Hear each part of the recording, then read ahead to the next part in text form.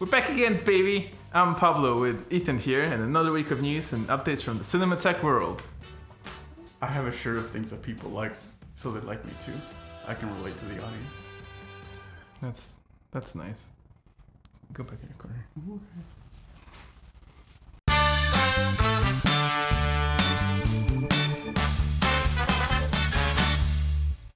First, GoPro has released the new Hero 11 Black and Black Mini. The biggest changes include a larger sensor that now records at an 8x7 aspect ratio at 5.3K and up to 60 frames per second. Bitrate encoding was also upgraded to 10-bit, and stabilization was much improved. Not to be outdone, though outdone it was, DJI released the Action 3. It's about 100 bucks cheaper than the GoPro and features a slightly larger sensor, thus in theory better low light performance. However, it does not record in 10-bit and it still records at a measly 4K. To my eye, the stabilization also looks not as good as the GoPros, but I'm blind, so who knows. Check out our good friend Potato Jet for a comprehensive comparison on both cameras. You saw him once and called him potato. He, he waved though. To no one's surprise, Fujifilm also released a new camera. Last week, really. Fuji? The XH2. It features a new 40.2 megapixel X-Trans sensor. Notable features include its ability to have an electronic shutter that goes as slow as one 100 80 thousandth of a second? It's really fast, okay? Video wise, it shoots up to 8K and 30p at 10 bit ProRes. It's the first S- APS-C camera to do it.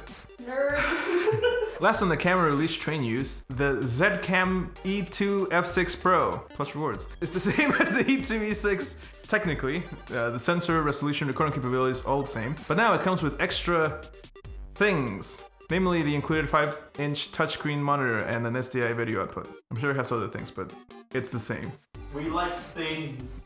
On the social media front, Instagram just can't catch a break. An internal document shows that not only is its viewership down month over month in Reels, but there's also no engagement whatsoever from its users in Reels. And just to rub extra salt on that wound, more than one third of Reels published are just TikTok reposts.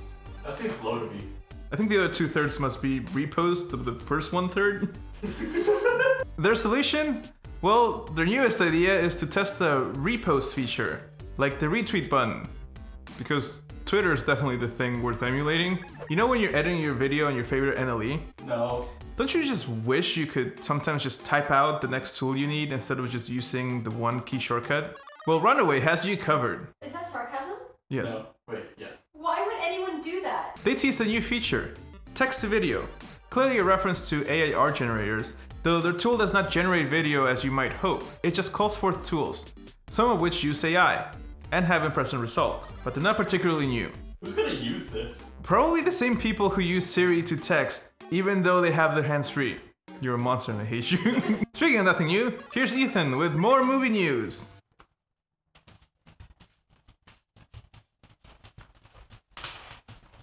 Am I gonna film it? Am I gonna film it? Yeah, you're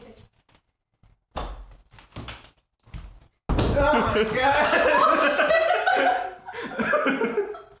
Hello, it's Ethan back at it again with a lot to cover, so we'll get right into it. This week, we'll start off with the biggest news of the D23 Expo.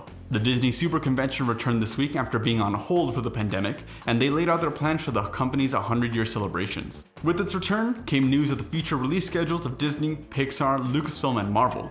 With so much more announced, we've decided to just choose our favorites now and talk about the rest as they become more available. Disney Studios started off the event with its live action department announcing Mufasa, the Lion King prequel, the trailer for The Little Mermaid, and Disenchanted for Disney Plus. Disney Animation showed off the new trailer for Strange World and announced their next film, Wish, about the origins of the wishing star. Pixar followed up with a first look at the new original films Elemental and Elio, along with announcing Inside Out 2.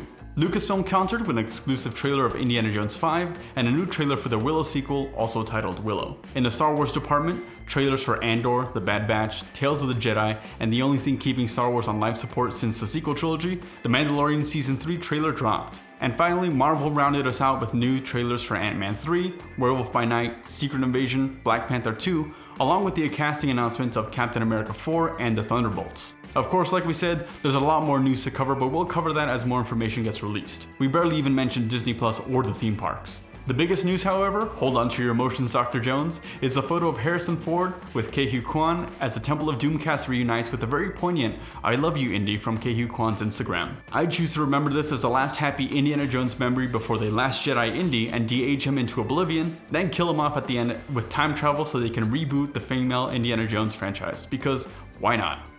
We can't have anything original. I'm so done. You know what wasn't announced at D23? Any new Star Wars movies. Like I care anymore. A few years back, Wonder Woman director Patty Jenkins announced her new Star Wars movie Rogue Squadron, based on the beloved video games and books to much fanfare at Star Wars Celebration. But after reported creative differences, she left the project and just days after the convention ended, it was officially cancelled. Like the Obi-Wan movie, the Boba Fett movie, the original episode 9, Zack Snyder's Rebel Moon, the Han Solo sequels, uh, Rian Johnson's Star Wars trilogy, Good riddance. and the original Lucas sequel trilogy. There's only six Star Wars movies, damn it, six! Three. And Rogue One. Four. And finally, to all the film nerds and students who are learning of the French New Wave in class, French Swiss film director Jean Luc Godard has passed away peacefully at his home at the age of 91. The pioneer in the French New Wave movement was known for changing the face of cinema as we know it with his experimental filmmaking and for giving film professors whole lesson plans just based on one film. Filmmakers around the world have taken to social media to voice their condolences, like this tweet from Cornetto Trilogy director Edgar Wright. Rest in peace, you magnificent Frenchman. Rest in peace. And now to the box office reports. This week has Barbarian at the top spot, followed by Bullet Train and Top Gun Maverick, still at the top three.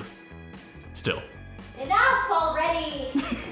And finally, this week in film history, The Outer Limits premiered on ABC TV, four years after The Twilight Zone, taking a harder science fiction edge and ran for two seasons.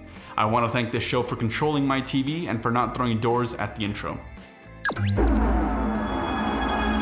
Reaching out from the world that lies. What is it with the doors in these shows about the spooky shit?